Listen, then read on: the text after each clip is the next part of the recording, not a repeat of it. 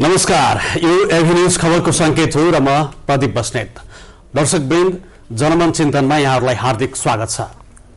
आज हामी नजिकिएको निर्वाचनबारे केन्द्रित रहनेछौँ यो श्रृङ्खलामा। र यसका लागि हामीसँग राष्ट्रिय जनता पार्टीका महामन्त्री डाक्टर सुरेन्द्र झा स्टुडियोमा हुनुहुन्छ। डाक्टर साहब स्वागत छ यहाँलाई। धन्यवाद। हिजो मात्रै हो तपाईँहरूले फोरम र राजपा बीचको एउटा सहमति प्रदेश नम्बर दुईका निम्ति तालमेल गरेर जाने भन्ने गरेको निर्णय त्यहाँबाट सुरु गरौँ है। हुन्छ। जसअनुसार फोर फोरमलाई सत्र र तपाईँहरूलाई पन्ध्र भनेर सिटको लगभग लगभग टुङ्गिएको छ हस्ताक्षर नै भएको छ। छ छवटा पार्टी बनेर बनेको राजपाको हैसियत त फेरि फोरमभन्दा अलिक कमै निकै अथवा पछाडि नै देखियो नि।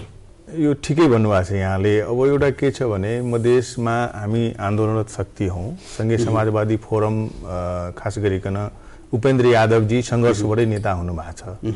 र अहिलेको चाहिँ नि छवटा मधेस केन्द्रित दलहरू मिलेर हामीले वैशाख सात गते राष्ट्रिय जनता पार्टी नेपाल गठन गऱ्यौँ। र हामीले चाहिँ सङ्घर्षकै बाटो लिनुपर्छ भन्ने हाम्रो पार्टीको कोर्स अफ एक्सन थियो। र सङ्घर्षकै हिसाबले हामी अगाडि जानुपर्छ। र यसमा चाहिँ तेस्रो चरणको स्थानीय तहको निर्वाचनभन्दा अगाडि दोस्रो चरणमै श्री उपेन्द्र यादवजी निर्वाचनमा जानुभयो र उहाँ निर्वाचनमा गइसकेपछि त्यसले हामीलाई प्राविधिक रूपमा केही समस्याहरू चाहिँ नि आयो। र हुन त उहाँले भन्नुहुन्छ कि चाहिँ नि मैले लिएको निर्णयको पछाडि पछाडि चाहिँ साइकल चढेर राजपा आयो भनेर भन्नुहुन्छ। तर त्यो भन्दै गर्दाखेरि उहाँले एउटा कुरा चाहिँ नि अनुभूति के गर्न बिर्सिनुहुन्छ भने उहाँले बाटोमा भएको ब्रिजलाई बम हालेर चाहिँ तोडिदिनु भयो ब्रिज चाहिँ भत्काइदिनु भयो अब त्यसपछि साइकल गुर्ने वातावरणै रहेन। त्यसले गर्दाखेरि चाहिँ हामी निर्वाचनमा जानु पर्यो। त्यो ब्रिज चाहिँ तपाईँको पुल चाहिँ भत्काउने काम चाहिँ श्री उपेन्द्र यादवजीले गर्नु भएको छ। त्यो ब्रिजमै भत्काउने तपाईँहरूले त्यो बेलामा आन्दोलनमा धोका दिएको। हो।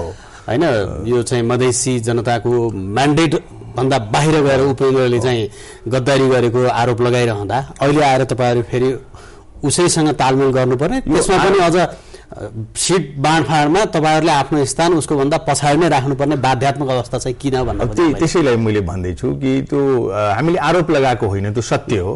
आदरणीय श्री उपेन्द्रजीले संविधान पुनर्लेखन हुनुपर्छ भनेर चाहिँ सङ्घर्ष गर्नुभएको थियो।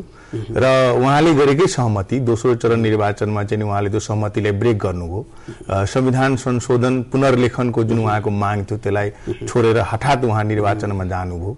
जसले गर्दाखेरि एक प्रकारको समस्या राष्ट्रिय जनता पार्टी नेपालको अगाडि आइलाग्यो। र धेरै वर्षदेखि निर्वाचन भएको थिएन स्थानीय तहको। त्यसले गर्दाखेरि हामी जनतालाई पनि के थियो भने एक प्रकारले निर्वाचनमा जाउँ भन्ने परिस्थिति थियो। त्यो सबै हुँदाखेरि खास हामीले उहाँले आरोप लगाएको होइन कि उहाँले राजनीतिक कोर्सलाई चाहिँ परिवर्तन गर्नुभयो। त्यसपछि हामी तेस्रो चरणको निर्वाचनमा हामी सरिक भयौँ। सरिक हुँदाखेरि पनि हाम्रो पार्टीमा ठुलो मत चाहिँ के थियो भने तपाईँको मलाई लाग्छ पदाधिकारी बैठकमा केन्द्रीय कार्य समितिको बैठकमा बहुमत मात्रै होइन। तपाईँको दुई तिहाईभन्दा बढी चाहिँ नै मत के आएको थियो भने हामी कुनै पनि हालतमा चाहिँ निर्वाचनमा जानु हुँदैन। संविधान संशोधनको हाम्रो एजेन्डा। हाम्रो साथीभाइहरू अझै जेलमै हुनुहुन्छ थुनामै हुनुहुन्छ। संविधान संशोधन हामीले गराउन सकेनौँ। र त्यसपछि पनि तपाईँको चाहिँ नि जुन सङ्घर्ष मधेसी जनताले दुई हजार सात सालदेखि गर्दै आएको छ तेस्रो मधेस आन्दोलन त्यो चरम उत्कर्षमा पुगेको थियो शान्तिपूर्ण आन्दोलन। र त्यसको एउटा चाहिँ नि लजिकल एन्ड नभइकन हामी चाहिँ निर्वाचनमा जानु हुँदैन भनेको पक्षको चाहिँ नि मैले पनि नेतृत्व गरेको मेरो पार्टीभित्र।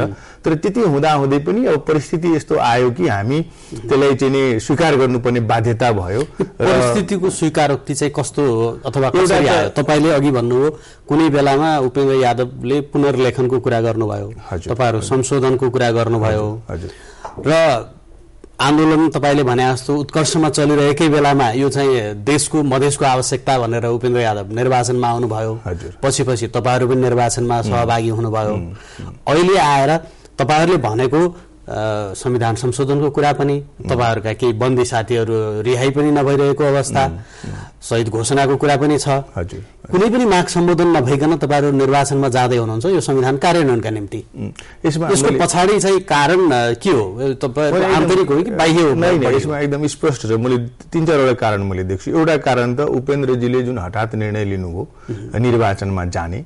त्यो एउटा ठुलो चाहिँ नि ब्रेक थ्रु थियो। मधेसको शक्तिहरूमध्ये चाहिँ नि राष्ट्रिय जनता पार्टी नेपाल र सँगै समाजवादी फोरमको course of action line of action चाहिँ विपरीत ध्रुवमा गयो।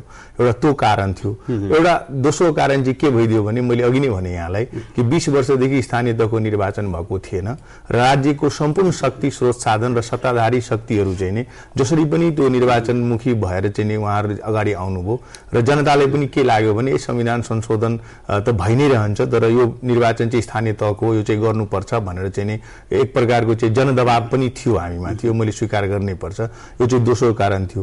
तेस्रो कारण चाहिँ के भइदियो भने राष्ट्रिय राजनीतिको अवस्था कस्तो आयो भने तपाईँको हामीले दुई तिहाई पुर्याएर संविधान संशोधन गराउन सक्ने अवस्थै रहेन संसदमा। किन भन्दाखेरि यो देशको चाहिँ नि संविधान निर्माता मध्येको एउटा ठुलो शक्ति नेपाल कम्युनिस्ट पार्टी एमाले जहिले पनि त्यसको विरुद्धमै उभियो र कुनै पनि हालतमा हामी संविधान संशोधनमा हामी जाँदैनौँ भनेर उहाँहरूले चाहिँ निर्णय नै लिनुभयो हट्ठी नै कस्नुभयो र त्यो दुई तिहाई पुर्याउने चाहिँ नि उसमा खेलमा हामी चाहिँ दुई दुईवटा प्रधानमन्त्री चाहिँ हामी चयन गऱ्यौँ र पनि त्यो दुई तिहाई बनेन र यो चाहिँ हामीलाई के लाग्यो भने अहिलेकै संसदमा यो सम्भवै नहुने रहेछ। किन भन्दाखेरि अब एक सङ्घर्ष यो- यथार्थ अलि ढिला बुझ्यो होइन? यथार्थ ढिला होइन कि? पहिलो दोस्रो तेस्रो चरण हुँदै हामीले स्थानीय तहको निर्वाचन यो ढिला बुझ्ने यो ढिला बुझ्ने भन्दा पनि तपाईँले धेरै कुराहरू क्लियर गर्नुपर्छ। जस्तो कुहिरो लागेको हुन्छ रातभरि। घाम लाग्छ। घाम लाग्ने तपाईँको बिहानै हो। तर फरासिलो तपाईँको पुरा एकदम छर्लङ्ग। दस बज्दो रहेछ दुसैसम्म जानु पर्दो रहेछ। यसको लागि चाहिँ हामीले के गर्यौँ त भन्दाखेरि कमसेकम राष्ट्रिय जनता पार्टीले संविधान संशोधन विधेयक चाहिँ टेबल गराएर त्यसमा भोटिङ गरायो। र तपाईँको जुन भन्ने गरिन्थ्यो कि नब्बे प्रतिशत जन अ, चाहिँले चाहिँ बनाएको संविधान यो विश्वकै सर्वोत्कृष्ट संविधान हो त्यसमा प्रथम संशोधन भइ नै सक्यो। दोस्रो पटक पनि संसदमा हामीले चौसठी प्रतिशतले चाहिँ के भन्यो भने यसमा त्रुटि छ भन्ने कुरो देखियो। भने अहिलेकै अवस्थामा यो सम्भव छैन यो समीकरणले संविधान संशोधन सम्भव छैन भन्ने कुरो चाहिँ हामी कतिखेर चाहिँ त्यो साबित छ, अब त्यहाँबाट हामी अगाडि आयौँ तेस्रो अहिलेको यो तालमेलको विषयलाई यहाँ जोड्छु। उपेन्द्रजी खास गरी मधेसी जनअधिकार फोरम अहिले जो संघीय समाजवादी फोरम भनेको छ त्यसको नेतृत्वका प्रति तपाईँहरू अलि सशङ्कित हुनुहुन्छ होइन? विगतको तपाईँहरूको सहकार्य तोडिएको सन्दर्भलाई जोड्न खोजेँ मैले। विगतको सहकारी तपाईँहरूले सन्दर्भमा उपेन्द्रजीलाई अलिकति गद्दार आन्दोलनलाई धोका दिएको होइन? मधेसी जनताको मुद्दा छोडेको भन्ने कुन जुन गर्नुभएको थियो नि उहाँमाथि लाग्नु लगाउनु भएको आरोप। त्यो आरोप केही हदसम्म तपाईँहरूले पुष्टि गर्ने प्रयास त गर्नुभयो। तर अहिले आएर फेरि उहाँसँगै तालमेल गर्नुपर्ने गठबन्धन गर्नुपर्ने स्थिति आयो। यो उपेन्द्रजीको चाहिँ अलिकति मैले उहाँको राजनीतिक कोर्सलाई मैले जुन बुझिराखेको छु त्यसरी हेर्दाखेरि त्रिसठी सालमा उहाँ आन्दोलनबाट स्थापित नेता हुनुभयो। चौसठी सालको प्रथम संविधान सभामा बाहन्न सिट लिएर संसदमा जानुभयो। बाहन्न सिटबाट चाहिँ नेता भएको आदरणीय श्री उपेन्द्रजी उहाँको पार्टी प्रथम धेरै पटक फुट टुटफुटमा गएर नौजना सभासदमा उहाँ झर्नुभयो। दोस्रो संविधान सभामा उहाँले चाहिँ दसवटा सिट चाहिँ प्राप्त गर्नुभयो जित्नुभयो। र उहाँले जुन उहाँको जुन यो मैले जो यो पार्टीको श्रृङ्खला भन्दैछु त्यसले के देखाउँछ भने काहीँ न काहीँ श्री उपेन्द्रजीको चाहिँ course of action line of एक्सनमा चाहिँ त्रुटि हुँदै गयो। र मधेस उहाँको आधार क्षेत्र थियो। मधेसको जनताको लागि चाहिँ उहाँले सङ्घर्ष गरिराख्नु भएको थियो आन्दोलनबाटै उहाँ चाहिँ आफूलाई नेतृत्व स्थापित गर्नुभएको थियो। मधेसको मुद्दा छोडेर उहाँ चाहिँ तपाईँको चाहिँ हिमाल पहाड चाहिँ देशभरिकै चाहिँ नेता बन्ने प्रयास पनि गर्नुभयो। एक एक हिसाबले उहाँ त्यसमा चाहिँ रुमलिनु पनि भयो दुई वर्षदेखि। र यो सबै उहाँको चाहिँ एउटा के छ भने जब जब अलिकति निकास आउने बेला आउँछ उहाँले हठात कुनै न कुनै निर्णय लिइदिनुहुन्छ भन्ने उहाँको एउटा नेचर छ। अर्को कुरा के छ भने उहाँको विगतको पृष्ठभूमि हेर्ने हो भने पनि उहाँ कम्युनिस्टको चाहिँ स्कुलिङबाट आउनु भएको छ। त्यहाँनिर पनि केही केही हदसम्म हाम्रो उहाँको काम गर्ने तरिका र हाम्रो काम गर्ने तरिकामा अलिकति फरक चाहिँ छ। यो चाहिँ हामीले स्वीकार गरेको त्रुटि र समस्या रहित तालमेलले भोलि तपाईँहरूलाई निर्वाचनमा प्रभाव पार्छ पार्दैन? यो पार्छ। म तपाईँलाई प्रष्टै। भन्छु यो पार्छ तपाईँको। यो जुन आज तपाईँले जुन सहमति सम्झौताको कुरा गर्नु भएको छ मैले एकदम तपाईँसँग सहमत छु। कि छवटा पार्टी मिलेर बनेको राष्ट्रिय जनता पार्टी नेपाल जसलाई चाहिँ आधिकारिक मधेसको शक्तिको रूपमा चाहिँ जनताले बुझेको छ। त्यो पार्टीले आज उहाँसँग सहकार्य गर्नुपर्ने परिस्थिति किन आयो भन्दाखेरि जनताको भावना के छ भने मधेस केन्द्रित दलहरू चाहिँ एक हुनुपर्छ। खास गरिकन उपेन्द्रजी र हामी चाहिँ नि मेल हुनुपर्छ। संगठन अ, चाहिँ कमसेकम गठबन्धन होस् भन्ने। भावना त पहिले पनि थियो नि। हामीले- मिलेरै आउन् भन्ने होइन? हामी सातवटा पार्टी थियौँ हामी। योभन्दा अगाडिको निर्वाचन संविधान सभाको निर्वाचनमा पनि त्यो थियो जनताको भावना। एक्ज्याक्टली स्थानीय तहको निर्वाचनमा पनि त्यही थियो जनताको भावना। सही कुरा हो। यो हामीले गर्न नसक्दाखेरि त्यसको पनिसमेन्ट पनि हामीले पायौँ। र त्यसको सजाय चाहिँ उपेन्द्रजीले पनि भोग्नुभयो। हामीले पनि भोग्यौँ। र अहिले पनि हाम्रो आत्मानुभूति चाहिँ के भएको छ भने जनताले चाहिँ तपाईँहरू सबै मिल्नुहोस् एउटै सके एउटै पार्टी बनाउनुहोस् भन्ने छ। हामीले म। आइहालेँ तपाईँको। त्यसमा चाहिँ के छ भन्दाखेरि हामी छवटा पार्टीहरू चाहिँ एक ठाउँमा आयौँ तर श्री उपेन्द्रजी आउनु भएन। र अहिले पनि तपाईँको यो गठबन्धन गर्दाखेरि उपेन्द्रजीको चाहिँ नि जुन तपाईँले भनौँ भने पन्ध्र सत्रको अब हामी खास इक्वल फुटिङमा चाहिँ नि हामीले गर्नुपर्ने हो। स्थानीय तहकै मत परिणामलाई मान्ने हो भने पनि तपाईँको जनताले चाहिँ नि हामीलाई बराबरै मत दिएको छ हेर्नुहोस् त्यो। भोट करिब करिब करिब करिब बराबरै मतमा छौँ हामी। सङ्ख्याको हिसाबले उहाँले एउटा बढी मेयर जित्नु भएको छ। भने हामीले उहाँभन्दा पाँचवटा चाहिँ मेयर बढी जितेका छौँ होइन? भोट चाहिँ दुई लाख सत्तरी हजार हाम्रो छ भने दुई लाख सत- सतहत्तर हजार चाहिँ उहाँको छ। तर विगतको संविधान सभाको हेर्ने हो भने तमोलोपा एउटै मात्रै पार्टी तमोलोपा उहाँभन्दा बढी सिट ल्याएको पार्टी पनि हो। यो पनि हामीले भुल्नु हुँदैन।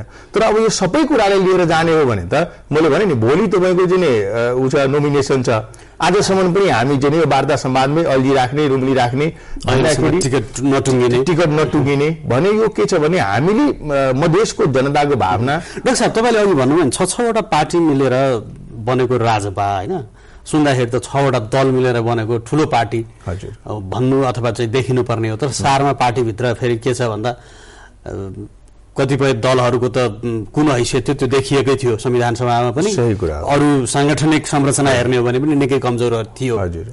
त्यसरी बनेको पार्टी आज चाहिँ यो निर्वाचनमा सहभागी हुँदै गर्दा उपेन्द्र यादवको सङ्घीय समाजवादीसँगको एउटा सहकार्यमा जानुपर्ने एउटा बाध्यता भयो।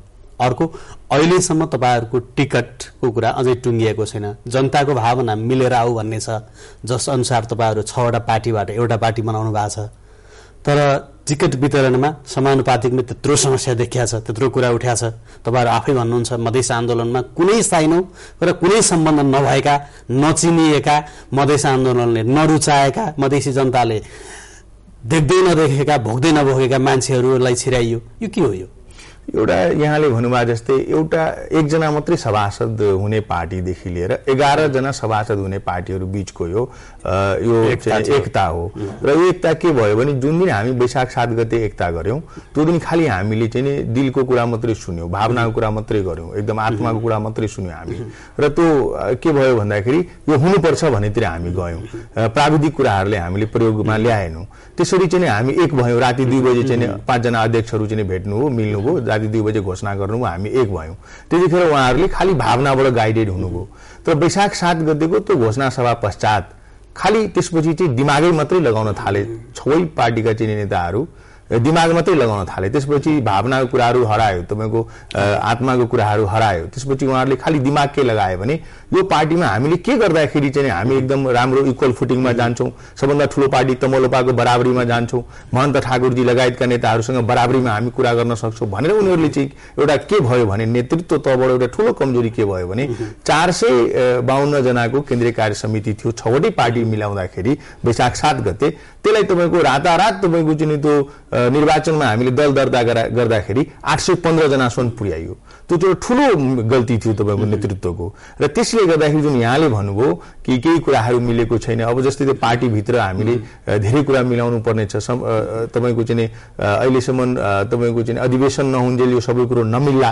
तर त्यसले के भइदियो भने पार्टीभित्र जुन त्यो चार सयबाट जुन हामीले आठ सयवटाको केन्द्रीय कार्य समिति आठ सयजनामा पुर्यायौँ अब त्यो पुर्याइसक्दाखेरि त के भयो भने तपाईँको काम गर्ने घरमा चाहिँ भाडा मोल्नेदेखि लिएर तपाईँको चाहिँ ड्राइभरदेखि लिएर खलासीदेखि लिएर तपाईँको सबैलाई तपाईँहरूको एकता त्यो प्राविधिक मात्रै भयो। अहिलेसम्म राजनीतिक एकता हुन सकेका छैन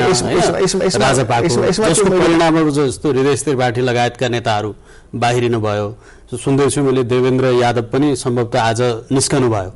स्वतन्त्र उम्मेदवारी दिने उहाँले निर्णय गर्नुभयो भनेर आएको छ। थुप्रै त्यस्ता नेताहरू जुन चाहिँ अलिकति चिनिएका अनुहारहरू राजभामा अट्न सकेनन्। होइन यसो मैले त्यही भन्दैछु मैले यहाँलाई कि अलिकति के भइदियो भने जुन हामीले प्राविधिक ढङ्गले जुन कुराहरू मिलाउनु पर्थ्यो त्यो हामीले मिलाउन सकेनौँ। र त्यसमा चाहिँ तपाईँको के भयो भने जसको जनाधार थियो जसको चाहिँ एउटा चाहिँ लिगेसी थियो तपाईँको राजनीतिमा जसको एउटा चाहिँ व्यक्तित्व बनिसकेको थियो राजनीतिमा ती पात्रहरूलाई पनि त्यहाँ उकुस मुकुस भयो अप्ठ्यारो भयो। त्यसलाई चाहिँ हामीले समायोजन गर्नेतिर हामीले जतिसुकै कोसिस गर्दाखेरि पनि केही हदसम्म चाहिँ हामी हामीलाई असफलता चाहिँ हात लागेकै हो। यो चाहिँ मैले स्वीकार गर्नै पर्छ। जहाँसम्म यहाँले समानुपातिक लिस्टको कुरा गर्नु हो समानुपातिक लिस्टमा म यहाँलाई के भनौँ भने नेपालभित्रको अन्य पार्टीहरू जुन छ चाहे त्यो नेपाली काङ्ग्रेस होस् चाहे एमाले पार्टी होस् चाहे हाम्रै चाहिँ अरू सङ्घीय समाजवादी फोरम भन्ने पार्टी नै किन नहोस्? यो पार्टीहरूको समग्रमा तुलना गर्दाखेरि राष्ट्रिय जनता पार्टी नेपालले गरेको निर्णय चाहिँ नि तपाईँको प्रश्न चिन्ह उठाउने ठाउँ छैन। किन नेपालको सबै पार्टीको अवस्था त्यस्तै छ। तर एउटा कुरा चाहिँ मैले प्रष्टैसँग यहाँलाई के भनौँ भने म यदि तपाईँको राष्ट्रिय जनता पार्टी नेपालको संयोजक भएको भए मैले बुझाउने समानुपातिकको लिस्ट त्यस्तो हुने त्यस्तो हुने थिएन। त्योभन्दा फरक हुन्थ्यो त्योभन्दा पृथक हुन्थ्यो भन्ने कुरा चाहिँ म चाहिँ तपाईँलाई भन्छु। समानुपातिकको अथवा अवधारणा नै यसको चाहिँ गलत प्रयोग भयो नि होइन यो त पिछडिएको सीमान्तकृत मधेसी जनजाति दलित जो चाहिँ पछाडि परेको छ महिला त्यस्तो चाहिँ व्यक्तिहरू त्यस्तो समुदायबाट ल्याउने चाहिँ त्यस्तो पनि छैन म यहाँलाई होइन? भनौँ अहिले जुन तपाईँको यो पहिले जुन प्रथम संविधान सभा दोस्रो संविधान सभामा जसरी समानुपातिकमा एउटा चलखेल गर्ने ठाउँ हुन्थ्यो नेताहरूलाई होइन?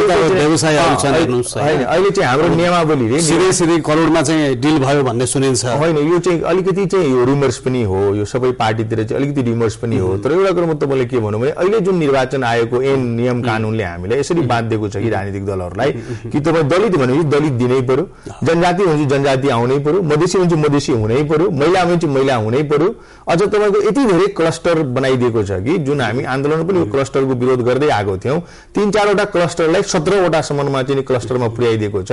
यो प्राविधिक रूपले पनि काम गर्न अप्ठ्यारो छ तपाईँको अवस्था त्यो पनि छ। त्यसैले यो दिएन भन्ने कुरातिर चाहिँ होइन। अब यहाँले भन्नुभयो जस्तै एक दुईवटा नामहरू चाहिँ प्ले गर्न सक्ने सम्भावना ठाउँहरू छ। नेताहरूले गर्नु भएको छ। अब अलिकति यो संविधान संशोधनको कुरामा जाउँ। एक चरणको निर्वाचन त सम्पन्न भइसकेको छ स्थानीय तहको। अब यो प्रदेश र संसदीय पनि हुँदैछ। त्यसले संविधान कार्यान्वयनमा अब त शङ्का भएन संविधान कार्यान्वयनमा जान्छ। भनेपछि दुई तिहाई मार्फत संविधान संशोधन हुने सम्भावना भोलिको दिनमा पनि सम्भवतः अब अलिक बिस्तारै किनभने एकातिर वाम गठबन्धन छ अर्कोतिर तपाईँहरू लोकतान्त्रिक प्रजातान्त्रिक समूहको एउटा चाहिँ बन्ला। संविधान संशोधनको मुद्दा करिब करिब अब अहिले तत्काललाई टर्यो होइन? हेर्नुहोस् यो मैले मान्नै पर्छ यो संविधान क्रियान्वयनमा अब समस्या रहेन। अहिले संविधान नेपाल- त संशोधन कार्यान्वयनमा। कार्यान्वयनमा समस्या रहेन यो संविधान पूर्णतया क्रियान्वयन हुन्छ। भोलि जब हामीले नोमिनेसन दिएर इलेक्सनमा जान्छौँ यो संविधान क्रियान्वयनको एउटा कोर्स पुरा हुन्छ। यसमा शङ्कै रहेन। यो संविधानलाई हामीले जलाएको हो। जुन दिन यो संविधान निर्माण भयो प्रोक्लेम भयो घोषणा भयो त्यो दिन म- तपाईँको चाहिँ वीरगञ्जमा मधेसीको चाहिँ युवाको चाहिँ छातीमा गोली ठोकेकै हो। तर यो संविधान चाहिँ परिस्थिति जेसुकै होस् मैले यो स्वीकार गर्नुपर्छ कि क्रियान्वयन भइसक्यो यो संविधान। क्रियान्वयनमा समस्या रहेन तर यो संविधानलाई हामी कतिन्जेलसम्म यसलाई चाहिँ डोर्याएर लिएर जान्छौँ र यसको आधारमा मुलुकलाई चाहिँ हामी चलाउँछौँ भन्नेमा चाहिँ प्रश्न छ। यो संविधान चाहिँ जसरी हामीले पहिले पनि तपाईँको सात सात थान संविधान चाहिँ हामीले फालेकै हो। बिकज अफ एनी रिजन भनोस् न जुन कारण जेसुकै होस् यो संविधान त तपाईँको सुरुदेखि गर्मै हुँदाखेरि चाहिँ रक्तपातपूर्ण अवस्थाबाट आएको छ। त्यसपछि तपाईँको चाहिँ अहिले संविधान चाहिँ संसदमै दोस्रो संशोधन पनि त्यहाँ टेबल हुँदाखेरि चौसठी प्रतिशतले यो त्रुटिपूर्ण छ भनिसकेको हाम्रो चाहिँ त्यतिखेरको कोर्स के थियो भने सङ्घर्षको जनविद्रोहको जनसलाभको चाहिँ दबावमा यो संविधानमा चाहिँ हामीले हाम्रो आफ्नो अधिकारहरू चाहिँ त्यहाँ लेखाउनु पर्छ भन्ने हाम्रो थियो। तर के भइदियो भने त्यत्रो विश्वले मानेको एउटा शान्तिपूर्ण आन्दोलन यत्रो ठुलो चाहिँ नि जनसहभागिता भएको मुभमेन्ट चाहिँ संसारमै एउटा मानिएको मुभमेन्टलाई त्यहाँबाट तपाईँहरू। अब निर्वाचनमा आउनुभयो।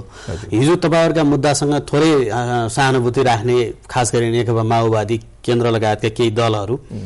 अहिले यो संशोधनसँग अलि बढी चाहिँ नकारात्मक भनौँ वा चाहिँ अलि अ, यो संशोधन प्रक्रिया तपाईँहरूको प्रस्तावप्रति त्यति सकारात्मक नभएको नेकपा एमालेसँग उनीहरूको गठबन्धन भएको छ। कङ्ग्रेससँग तपाईँहरूको गठबन्धनको कुरा अहिले पनि चलिरहेको छ। अब टुङ्गिन्छ टुङ्गिँदैन भोलि नोमिनेसनको कुरा भइसकेको छ। दुई तिहाई त लगभग लगभग कसैको आउँदैन। देखियो नि होइन। संविधान संशोधन चाहिँ अलिकति टर्ने भयो अलि पछाडि जाने भयो। होइन यो यस्तो के छ भने तपाईँको एमाले पार्टीले त मधेसी जनताले उहाँहरूलाई मत दिएर दोस्रो संविधान सभामा मधेसको सबभन्दा ठुलो पार्टी बनाएको एमालेलाई। तर एमाले पार्टीले संसदमा मधेसलाई अधिकार दिने कुरामा त्यो मत चाहिँ नै उसले पालाको पैचो तिरेन मधेसी जनताको पक्षमा मत हालेन। प्रष्टै थियो। त प्रचण्डजी जसरी तपाईँको रातारात एउटा यु टर्न लिनुभयो नेपालको राजनीतिमा उहाँ सधैँ यो काम गर्नुहुन्छ। उहाँ एउटा चलाइमान नेताको रूपमा हुनुहुन्छ र उहाँको जुन यो यो चलाइमान नेचर छ त्यसले चाहिँ नै नेपालको राजनीतिलाई समस्या गरेकै हो। र मैले यहाँले एउटा के निवेदन गरौँ यो वाम गठबन्धन जुन बनेको छ त्यो एकदमै साम्यवाद ल्याउने कम्युनिस्ट पार्टी प्रचण्डजीको चाहिँ नै घोषणा संसदीय व्यवस्थालाई उपयोग गर्दै साम्यवादसम्म जाने भनेको उहाँको घोषणा। र तपाईँको नेपाल कम्युनिस्ट पार्टी एमाले जसले विगत पच्चिस वर्षदेखि चाहिँ तपाईँको संसदीय व्यवस्थाले उपयोग गर्दै संसदीय व्यवस्थालाई मानिसकेर राष्ट्र ढुकुटी दोहन गर्ने पार्टी एमाले। र एक अर्काको टाउकै छिनाल्ने चाहिँ प्रतिद्वन्दी दुईटा पार्टी बीचको एकता चाहिँ तपाईँको यो साम्यवादसम्म जाने एकता पनि होइन। र यो उहाँहरूले जुन त्रिचालिस सालमा सबै वाम एक ठाम भन्ने हुन्थ्यो। त्यो वामहरू चाहिँ यहाँ किन मिल्छ त भन्दा एक त तथाकथित कम्युनिस्ट भन्छु म। कम्युनिस्टको कुनै परिकल्पना यहाँको नेताहरूमा छैन कम्युनिस्ट नेताहरूमा छैन। अहिलेको जुन उहाँहरूको पटक पटक जुन एकता हुन्छ नेपालमा। यही प्रश्न यहाँलाई मैले जोड्न खोजेको डाक्टर साहब जस्तो कङ्ग्रेस आज पनि भनिरहेछ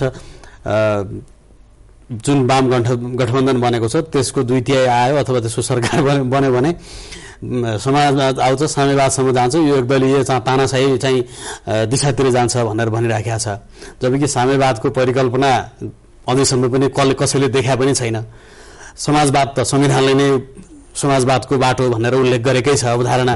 प्रस्तुत गरेका छ यहाँनिर जे हौवा फैलाइँदैछ नि कम्युनिस्टहरू एमाले माओवादी यदि पार्टी एकतासम्मै पुग्यो भने मुलुक चाहिँ त्यो दिशातिर जान्छ भन्ने छ। तपाईँको बुझाइमा के छ? यो अलिकति विश्लेषकीय यहाँले भन्दै कि दुई हजार त्रिचालिस सालमा पनि सबै वाम एक ठाउँ भनेर नारा लागेको हाम्रो देशमा।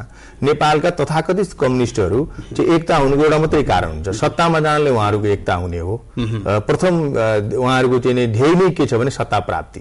र अहिले उहाँहरूले देख्नुभयो कि सत्ता प्राप्तिमा समस्या छ। त्यही भएर उहाँहरू चाहिँ यो वाम एकता होइन कि यो दामको एकता हेर्नुहोस् मलाई यदि भन्नुहुन्छ भने। कङ्ग्रेस त अकर्मण्यताले गर्दाखेरि यो मुलुक उसलाई यहाँ चुनावमा समाज जान भनेकै होइन। कम्युनिस्टको विरोध गर्नु बाहेक अर्को एजेन्डा यस्तो गरी उसलाई छैन। मैले- मैले प्रष्टै भन्छु तपाईँलाई काङ्ग्रेसको अकर्मण्यता गिरिजा प्रसाद कोइराला लोकतान्त्रिक पार्टी नेपाली काङ्ग्रेसको सबभन्दा ठूलो कम्युनिस्ट नेता थियो त्यो। कम्युनिस्टको आचरण यदि कसैमा थियो भने त्यो गिरिजा प्रसाद कोइरालामा थियो। र गिरिजा प्रसाद कोइरालाको त्यो अधिनायकवादको सोचको कारणले गर्दाखेरि गणेशमान सिंह जस्तो नेता कृष्ण प्रसाद भट्टराई जस्तो नेता अपहेलित हुनु पर्यो र यो देशमा चाहिँ प्रचण्ड भन्ने चाहिँ नै शक्तिको पैदा भयो। तपाईँको पुष्पकमल दाहाललाई चाहिँ नै दस वर्ष जनयुद्ध हुनुको एउटा ठूलो कारण चाहिँ तपाईँको गिरिजा प्रसाद कोइराला पनि थियो। र यो काङ्ग्रेस पार्टीको अकर्मण्यता यो पछिल्लो समयमा चाहिँ तपाईँको थुप्रिँदै गएको छ र उहाँहरूले जुन प्रकारको हौवा फिराइ फिजाइराख्नु भएको छ म चाहिँ त्यति त्रसित छैन। किन भन्दाखेरि यो चाहिँ सतही एकता हो उहाँहरूको बिचमा। म तपाईँलाई भनौँ प्रचण्डजी चाहिँ हामीसँग चाहिँ नि हुनुहुन्थ्यो। तपाईँको त्यो सोह्र बुन्दे सम्झौता गरेर चाहिँ तीस दलीय गठबन्धनबाट भाग्नुभयो। जब उहाँ दोस्रो संविधान सभा निर्वाचनमा पराजित हुनुभएको थियो जङ्गल जाने उद्घोष गर्नुभएको थियो उहाँ। आदरणीय महन्त उहाँहरूले निर्वाचनको परिणाम स्वीकार गरेको. सबै छन् नि। तपाईँको देशको पुरानो नेता आदरणीय महन्त ठाकुरजी उहाँलाई प्रथम व्यक्ति होला सबभन्दा पहिले संवाद गर्ने र उहाँले चित्त बुझाउने। उहाँले पेरिस डाँडाबाट औला समातेर चाहिँ नै बानेश्वर चोकसम्म ल्याइदिने नेता महन्त ठाकुरजी तीस दलीय गठबन्धनमा उहाँले संयोजक बनायौँ हामीले। उहाँले त्यसबाट अलिकति ऊर्जा प्राप्त गर्नुभयो। त्यो ऊर्जाले गएर उहाँले सोह्र सम्झौता गर्नुभयो। के भुइँचालो आएको थियो भूकम्पले ठुलो ठुलो भएको थियो देश। यहाँ प्राविधिक सही होइन? तपाईँले भने जस्तो सत्ता के- कै निम्ति गरिएको गठबन्धन नै सही यो अहिलेको वाम। यो कारणले गर्दाखेरि अर्कोतिरको शक्ति।